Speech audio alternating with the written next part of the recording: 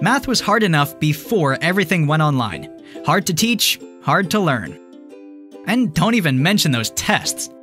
And now suddenly every math teacher is supposed to become some kind of math video expert too? Luckily, you found thattutorguy.com. The guy in the videos is a tutor, so he has tons of experience explaining math in a way that anyone can understand, and not being totally boring.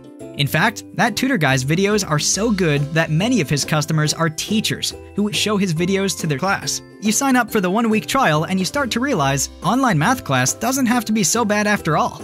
You're spending less time worrying about homework, so you have more time to do important things, like sleeping and binging TikTok videos. What are you waiting for? Make online math a little more tolerable with thattutorguy.com.